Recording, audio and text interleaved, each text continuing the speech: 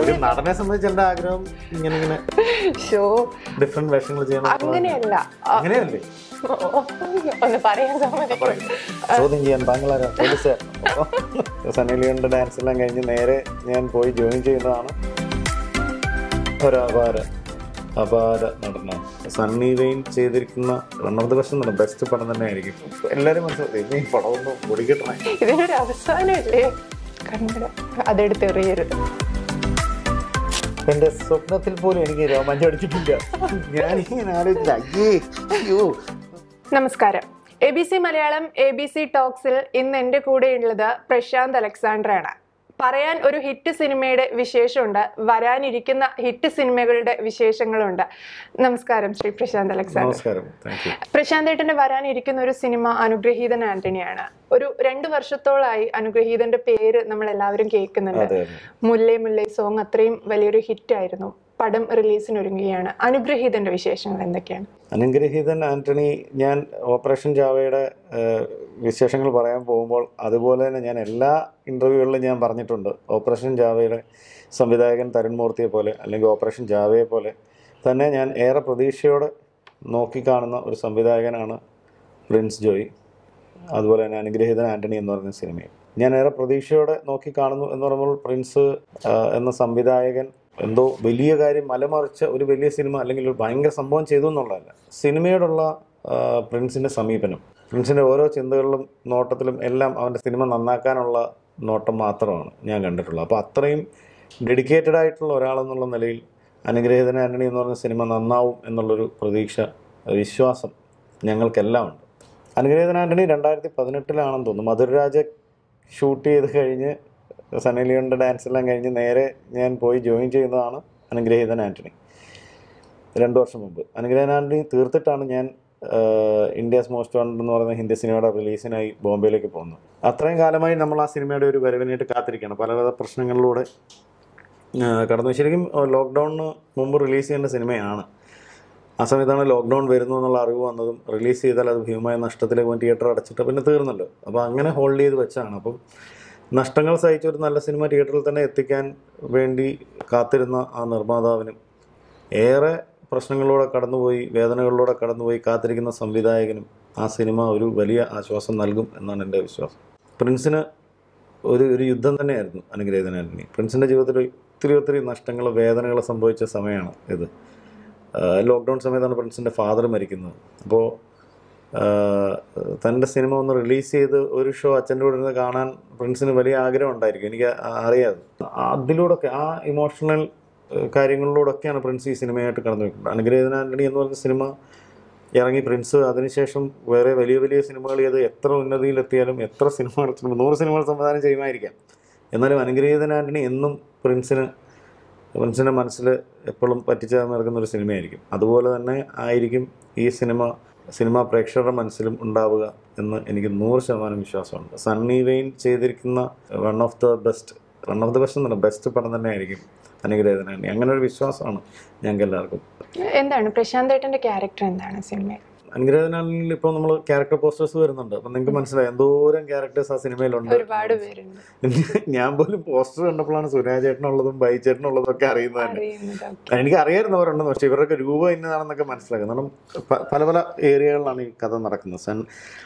ആന്റണിയുടെ ജീവിതത്തിൽ ആന്റണി കടന്നു പോകുന്ന ഓരോരോ സ്ഥലങ്ങളിലാണ് ഈ കഥകൾ. അപ്പോൾ ആന്റണി താമസിക്കുന്ന വീട് ആന്റണി ആന്റണിയുടെ ഫാദറും താമസിക്കുന്ന വീട്. അതിനോട് ചേർന്ന് അവരുടെ എല്ലാ കാര്യങ്ങൾക്കും കൂട്ടു നിൽക്കുന്നതും സപ്പോർട്ട് ചെയ്യുന്നതുമായിട്ടുള്ള ഷാലറ്റ് എന്ന് പറയുന്ന ക്യാരക്ടറും എന്റെ ഫ്രാൻസി എന്ന് പറയുന്ന എന്റെ കുടുംബം എന്റെ കുടുംബമാണ്. എന്റെ വൈഫാണ് ഷാലറ്റ്. ഷാലറ്റാണ് ഈ വീട്ടിലെ കാര്യങ്ങൾ പോയി നോക്കുന്നത് പറമ്പിലെ കാര്യങ്ങൾ കണ്ടിട്ടുണ്ട്. ഷാലറ്റ് മുത്തുമണി മുത്തുമണി ചെയ്യുന്ന ഷാലറ്റ് എന്ന് പറഞ്ഞ ക്യാരക്ടർ ഞാനാണ് പറമ്പിലെ കാര്യങ്ങളൊക്കെ നോക്കുന്നത്. മീൻസ് മലയോര ഗ്രാമങ്ങളിൽ അങ്ങനെയാണല്ലോ.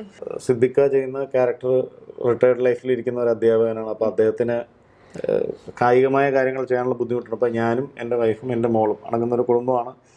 ഇവരുടെ ഏറ്റവും അടുത്ത ബന്ധുക്കൾ എന്ന് പറയുന്നത്. എന്നാൽ ക്ലോസ് ബന്ധുക്കളാണോ? അതുമല്ല. അടുത്ത് താമസിക്കുന്നുണ്ടുള്ള അടുത്ത ബന്ധുക്കൾ.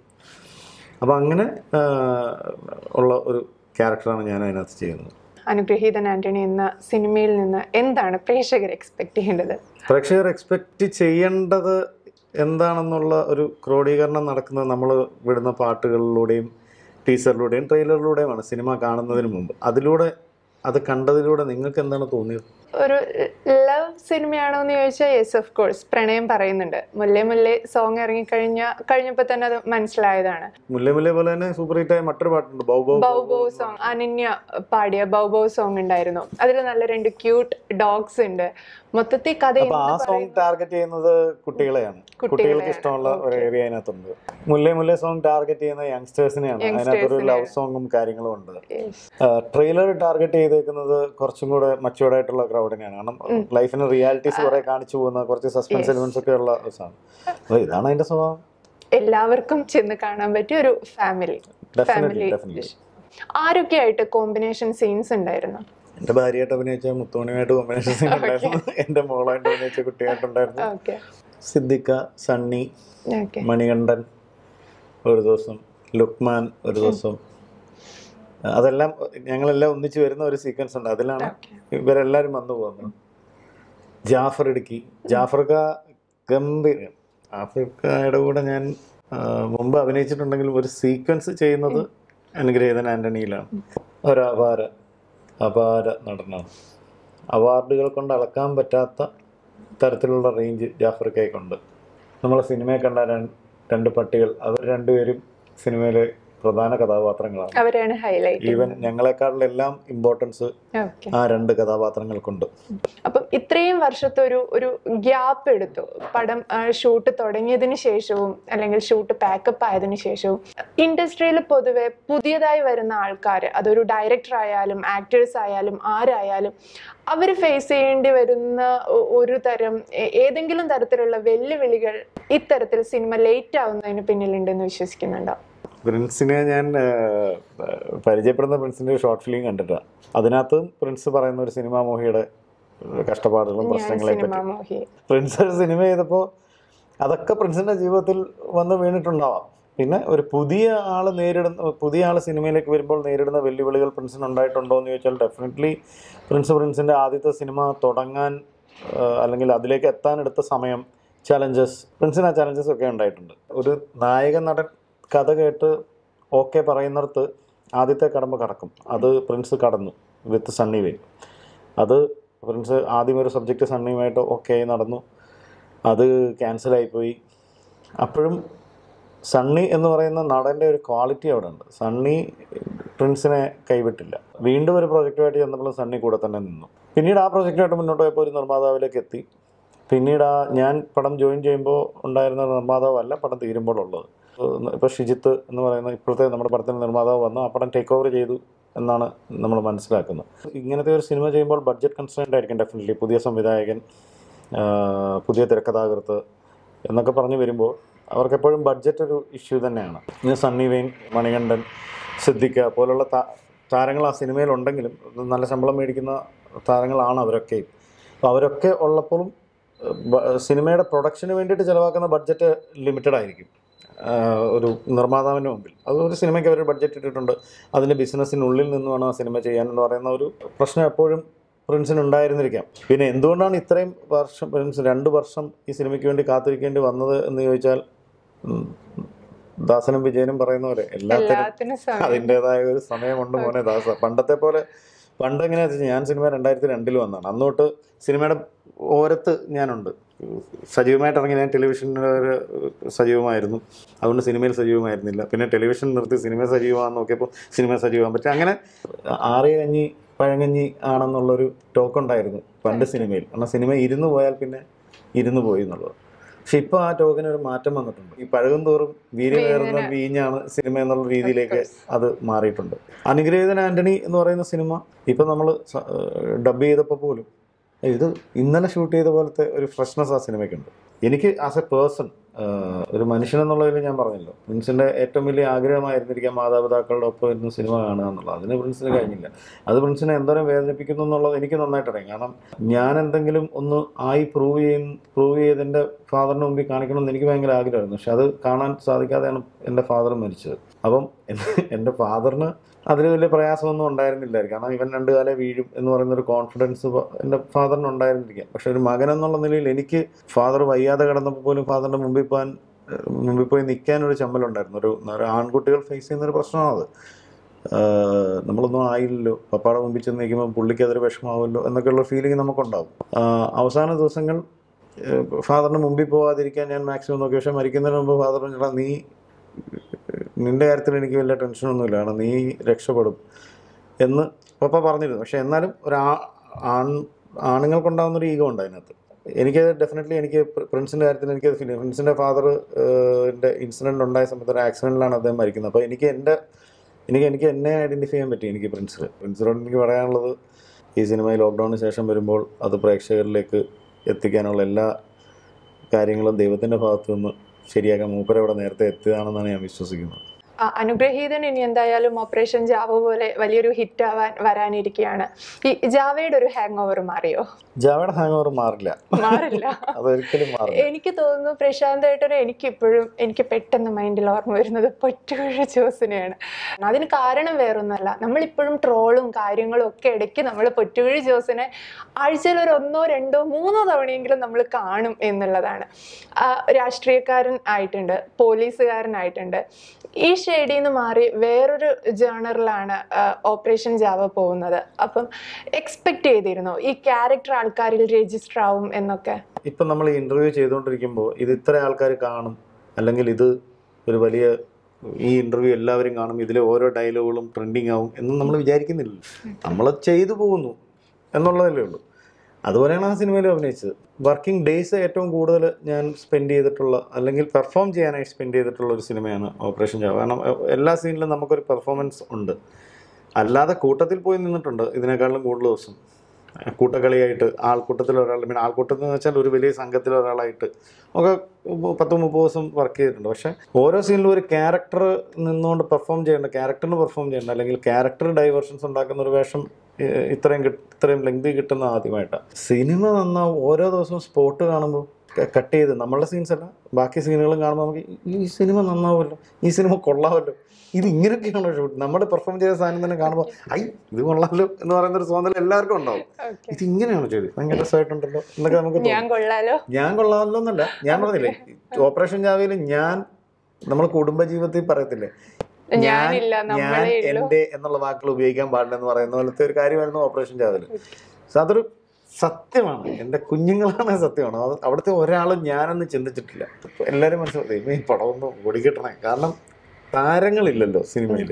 കുറേ ആൾക്കാരുണ്ടെന്നല്ലേ ഉള്ളൂ. ഒരു താരം എന്ന് പറയുമ്പം ഈ ഡെഫിനറ്റ്ലി അതിനകത്ത് വിനായകനുണ്ട് ഷൈൻ ടോം ജാക്കുണ്ട് ബാലു ഉണ്ട് ഇവരൊക്കെയും ഇൻഡിപെൻഡന്റ് ആയിട്ട് സിനിമകൾ ചെയ്തിട്ടുള്ള ആൾക്കാരാണെങ്കിൽ പോലും നമ്മൾ ഓപ്പറേഷൻ ജാവ എന്ന് പറയുന്ന ഫസ്റ്റ് ലുക്ക് കൊണ്ടാൽ അതിനകത്തൊരു താരത്തെ നമുക്ക് കാണാൻ പറ്റില്ല. കാരണം ഒരു ഗ്രൂപ്പിനെയാണ് കാണിച്ചേക്കുന്നത്. ഒരു താരത്തെ പ്രൊജക്റ്റ് ചെയ്തിട്ടുള്ളൊരു സിനിമയായിട്ട് അതല്ല അതിനെ സംവിധാനം കൺസീവ് ചെയ്തിരിക്കുന്നത്. അങ്ങനെ അല്ലായിരുന്നെങ്കിൽ ഫസ്റ്റ് ലുക്ക് പോസ്റ്ററിൽ ബാലുവും ലുക്മാനും വിനായകനും ഷൈൻ ടോം ജാക്കോവും ഉള്ള പോസ്റ്ററായിരുന്നു ആദ്യം വരേണ്ടിയിരുന്നത്. ഇത് ഓഡിയൻസിന് വല്ല താല്പര്യവും ഈ സിനിമയെ കാണുമോ എന്നൊക്കെ ഉള്ള ചിന്തയും പിന്നെ അതിന്റെ പോസ്റ്റ് പ്രൊഡക്ഷൻ സ്റ്റേജുകളിലേക്ക് പോയപ്പോൾ ഓരോ ഘട്ടത്തിലേക്ക് പോകുമ്പോൾ ബിനു പപ്പു പപ്പു ചേട്ടന്റെ മോനാണ്. ബിനു പപ്പു ഒരു അസോസിയേറ്റ് ഡയറക്ടറും കൂടാണ് സിനിമയിൽ ആഷിക് കപൂറിന്റെയൊക്കെ സിനിമകളുടെ അസോസിയേറ്റും കൂടിയാണ്. ബിനു ഇതിനകത്ത് അഭിനയിച്ചിട്ടുള്ളത് ബിനു ഇതിന്റെ പോസ്റ്റ് പ്രൊഡക്ഷനിൽ ഇരിക്കുന്ന ആൾക്കാരായിട്ട് മുമ്പ് വർക്ക് ചെയ്തിട്ടുണ്ട്. പോസ്റ്റ് പ്രൊഡക്ഷനിലേക്ക് പോകുമ്പോൾ വിളിച്ച് പറയും. ഇങ്ങനെ കണ്ടവരെല്ലാവരും ഗംഭീര അഭിപ്രായം പറയുന്നുണ്ട്. ഇതിൽ ഇന്ന ഇന്ന ആൾക്കാർ സ്കോർ ചെയ്യുമെന്നാണ് പറയുന്നത്. അതിൽ എന്റെ പേരും പറഞ്ഞു. അപ്പോൾ എന്റെ സംശയം എന്ന് പറഞ്ഞാൽ ഇതിനകത്ത് ബാക്കി എല്ലാവരും പോസിറ്റീവാണ് ഞാൻ മാത്രമേ ഉള്ളൂ അതിനകത്തൊരു നെഗറ്റീവ് സ്വഭാവം ഉള്ളത്. അത് വർക്കാവുമോ എന്നുള്ളൊരു ഒരു പ്രശ്നം ഉണ്ടായിരുന്നു. നമ്മൾ മാത്രമാണ് നെഗറ്റീവ് ചൊറി. ഇവൻ എല്ലാ പടത്തിലും വന്നിങ്ങനെ എന്തെങ്കിലും ചൊറിഞ്ഞു ഇപ്പം ആക്ഷൻ ഹീറോ ബിജുവിലാണെങ്കിലും ചൊറിഞ്ഞ് തെറിവിളി കേട്ടിട്ട് പോകും. ഗ്രേറ്റ് അങ്ങേയറ്റത്തെ. ഗ്രേറ്റ് ഫാദറിൽ ഒരു തമാശക്ക് ചൊറിഞ്ഞ് അതിലും തെറിവിളി കേട്ടിട്ട് പോകും. അപ്പം അങ്ങനെ നമ്മൾ കുറെ ചെയ്തിട്ടുള്ളതുകൊണ്ട് ആ പുള്ളി അത് ചെയ്യും. പുള്ളിക്ക് അത് ചെയ്യാൻ അറിയാം അതിനപ്പുറത്തേക്ക് അത് വരുമോ എന്നൊക്കെ ഉള്ളൊരു ചിന്ത എനിക്ക് പേഴ്സണലി ഉണ്ടായിരുന്നു. എന്റെ അടുത്ത സുഹൃത്തുക്കളും എന്നെ അറിയാവുന്ന ആൾക്കാരും ഇപ്പോഴും എന്നിൽ പോരായ്മകൾ കണ്ടുപിടിക്കുന്നുള്ളതുകൊണ്ട് എനിക്ക് അങ്ങനെ ഒരു നല്ല നടനാണെന്നുള്ള തോന്നൽ ഒരിക്കലും ഉണ്ടാക്കാൻ ഉണ്ടാകാൻ പറ്റിയിട്ടില്ല. അപ്പം ഇനി അവരും കൂടെ കൺവിൻസ്ഡ് ആവുന്ന ഒരു പെർഫോമൻസിലേക്ക് ഞാൻ എത്തണം എന്നുള്ളതാണ് എന്റെ ആഗ്രഹം. പക്ഷെ അങ്ങനെ എത്തണമെന്നുണ്ടെങ്കിൽ ഞാൻ കുറച്ചും കൂടെ അധ്വാനിക്കേണ്ടിയും പഠിക്കേണ്ടിയിരിക്കുന്നു. ഇനി അനുഗ്രഹീതൻ ആന്റണി അല്ലാതെ വരാനിരിക്കുന്ന സിനിമകൾ ഏതൊക്കെയാണ്? അഭിനയിച്ച സിനിമകളുടെ ഓർഡറിൽ സിനിമ ഇറങ്ങി പോവുകയാണെങ്കിൽ ഏറ്റവും അവസാനം റിലീസ് ആവേണ്ട സിനിമയാണ് ഓപ്പറേഷൻ ജാവ കാരണം ലോക്ക്ഡൌണിന് തൊട്ട് മുമ്പ് തീർന്ന സിനിമയാണ് ഓപ്പറേഷൻ ജാവ ലോക്ക്ഡൗൺ കഴിഞ്ഞപ്പോൾ ഏറ്റവും ആദ്യം റിലീസായ സിനിമയും ഓപ്പറേഷൻ ജാവയായി പോയി ഓപ്പറേഷൻ ജാവയ്ക്ക് മുമ്പ് ചെയ്ത സിനിമകളാണ് ഇനി ഇറങ്ങാൻ കിടക്കുന്ന തൊണ്ണൂറ് ശതമാനം സിനിമകൾ അതിലിപ്പോൾ അനുഗ്രഹീതൻ ആന്റണി ഉണ്ട് കിങ് ഫിഷ് എന്ന് പറഞ്ഞ സിനിമയുണ്ട് കുർബാനി എന്ന് പറഞ്ഞ സിനിമയുണ്ട് വൺ എന്ന് പറഞ്ഞ സിനിമ ഇപ്പം അനുഗ്രഹീതൻ അനുഗ്രഹ ആന്റണിയുടെ മുമ്പ് റിലീസാവും. പിന്നെ അങ്ങനെ ചെയ്തു വെച്ച സിനിമകൾ കുറേ ഉണ്ട്. പിന്നെ ലോക്ക്ഡൗണിന് ശേഷം ഞാൻ അഭിനയിച്ചത് ഫോർ എന്ന് പറഞ്ഞൊരു സിനിമയിൽ അഭിനയിച്ചു. ആറാട്ടിൽ ലാൽ സാറിന്റെ കൂടെ അടാറ് ഐറ്റത്തിൽ ഞാനും ഒരു ഭാഗമായിട്ടുണ്ട്. അതിനുശേഷം ഒരു താത്വിക അവലോകനം എന്ന് പറഞ്ഞ സിനിമയിൽ ജോജു അജു നിരഞ്ജൻ അതിനുശേഷം അനൂപ് മേനോ നായകനാകുന്ന ട്വന്റി വൺ എന്ന് പറഞ്ഞൊരു സിനിമയിൽ അഭിനയിച്ചു. ഇതിനൊരു അവസാനം ഇല്ലേ അയ്യോ അവസാനം ഉണ്ടായിരുന്നു അതിനൊരു അവസാനം ഉണ്ടാകുന്നിടത്ത് നമ്മളും തീർന്നു. ഇല്ല ജസ്റ്റ് ജോക്ക് കൈ നിറയെ സിനിമകളാണ്. സത്യം Serious തമാശ ആയിട്ട് പറഞ്ഞതല്ല? പറഞ്ഞതല്ല. ഓക്കെ. കൈ നിറയെ ചിത്രങ്ങളാണ്. അങ്ങനൊന്നുമില്ല. ആ ആ ഒരു ഓട്ടം ദൈവാനുഗ്രഹത്താൽ ഒക്ടോബർ തൊട്ട് ഒരു ഫെബ്രുവരി വരെ നല്ലപോലെ ഓടി. കയ്യിൽ കുറച്ച് ചിത്രങ്ങളേ ഉള്ളൂ. ഇനിയും ഓപ്പറേഷൻ ജാവയുടെ റിസൾട്ടുമായി ബന്ധപ്പെട്ട് സിനിമകൾ വരണം. അതിനുവേണ്ടിയുള്ള കാത്തിരിപ്പാണ്. വെയിറ്റിംഗിലാണ് അങ്ങനെ അങ്ങനെ ഒരു ആഗ്രഹം ഉണ്ടോ പ്രശാന്ത് ഏട്ടന്? എനിക്ക് ഇന്ന ഇന്ന ക്യാരക്ടർ ഒക്കെ ചെയ്യണം എന്നൊക്കെ. ഒരു നടനെ സംബന്ധിച്ച് പിന്നെ വേറെന്താ ആഗ്രഹിക്കാം അങ്ങനെയല്ല എന്നാലും നമ്മളിപ്പം ഒരു സിനിമ എന്നോട് ചോദിച്ചാൽ ഇന്ന കാർ എടുക്കണോ?